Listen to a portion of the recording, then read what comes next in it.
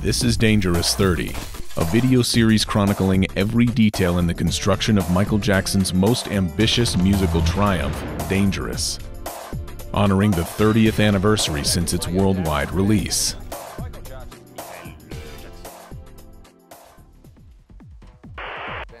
Michael Jackson had ambitions to create the greatest show on earth, and a spectacle is what the album caused, as so perfectly illustrated in the launch campaign of its lead single, Black or White. A title Michael Jackson engineered knowing it would give the media much to talk about, given the long standing controversies over his unexplained and progressively lightened appearance in recent years. It's hard to comprehend how big the worldwide debut of Black or White was, with its star studded music video grand premiere taking place on the night of November 14, 1991. The broadcast was screened simultaneously across multiple networks MTV, BET, VH1, and Fox, as well as 27 other countries to a record shattering 500 million viewers. Michael's ambitious video spectacle was marked by the return of thriller director John Landis, who, in his own words, got brought onto the ambitious project after several other directors failed. This is Michael's piece, an extravaganza, sort of the abstract rock video mold, said the movie director. When I was brought in to take over Black or White, I mean, David Lynch, David Fincher, there had been like five directors, and Michael would show up. And the company Propaganda, who had made a deal with the, with Sony to make the videos, called me and said, "Would you please come?" I said, "Why?" They said, "Because he'll show up for you." Landis recounted how Michael's disorganized and outlandish visual ideas for the video caused tension during the project. My job was to make it coherent, adding the pulsating rock dance rap tune is a story about racial inequality. Admittedly, some of it is truly insane, said the director. With some of his ideas, I say, Michael, I hate that. With some of my ideas, he'll say, John Landis, I hate that. I, I liked Michael very much, very fond of him. He was nuts, you know, I mean, he really was. On Black and White, it was more difficult because that was his. And me, my job on that one was trying to like make him not look quite so nuts. The multi million dollar shoot was ambitious from the outset, considering the video's assortment of lavish sets, live locations, and groundbreaking special effects. But Michael's notorious flakiness also added delays and extra costs to the six week production, causing the video to go way over budget, costing as much as $4 million as a result. And I said, Mike, if we do this, you have to show up. If you're late, I'll go home. I'll show up. and we had a day that was probably a $180,000 day. We had Louma Crane and 70 dancers. It was a big deal, right? And Mike and Macaulay Culkin, they didn't show up. It's like, well, where's Michael?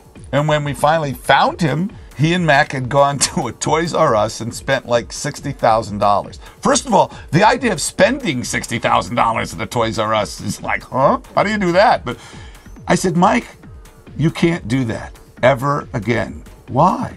Because it insults everybody. The short film begins with a scene featuring Macaulay Culkin and George Wendt that appears to be inspired by Twisted Sister's We're Not Gonna Take It video.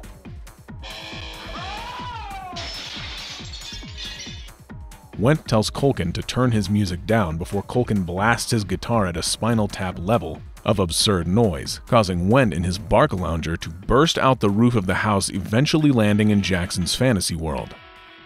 The artist then begins to perform the track, turning up in various locations around the world, dancing and interacting with its native people, whilst incorporating his own dancing style with that of the different cultures he meets.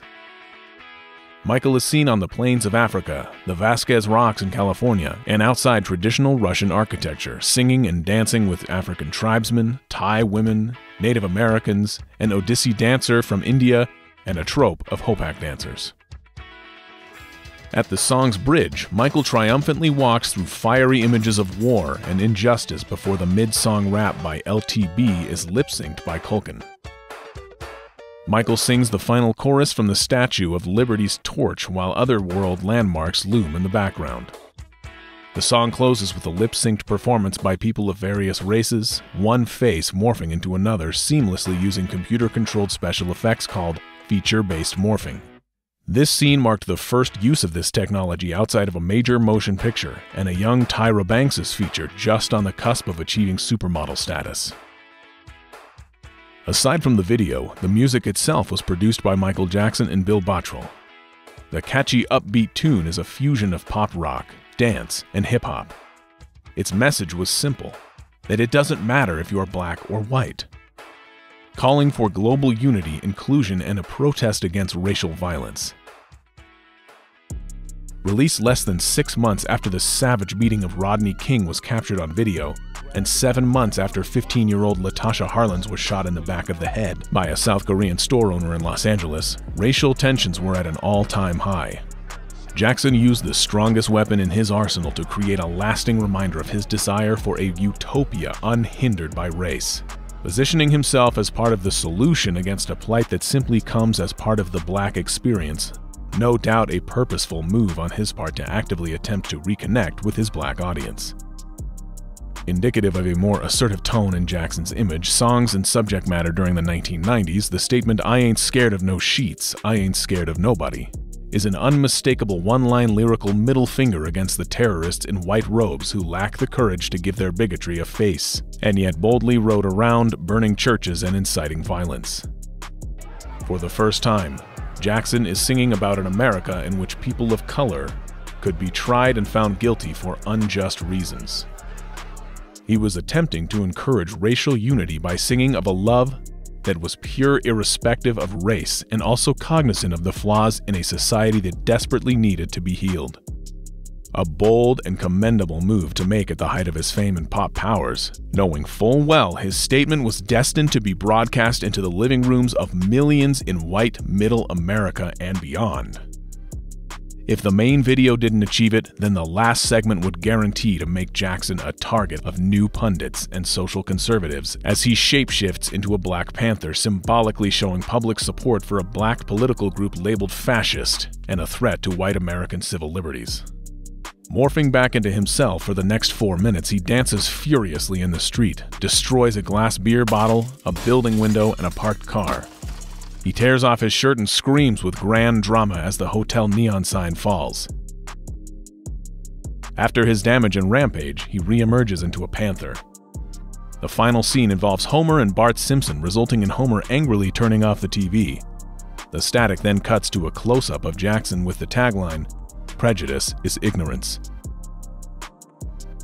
Coined the Panther dance scene, an immediate media backlash ensued. Many were outraged by Michael Jackson's careless portrayal of street vandalism and violent aggression, while conservatives complained about the more sexual material, the grabbing of his crotch and zipping up his pants. It may seem like small potatoes, especially when compared to other artists like Prince and Madonna's output at the time. But the difference is that Prince and Madonna had carved themselves out as provocative performers.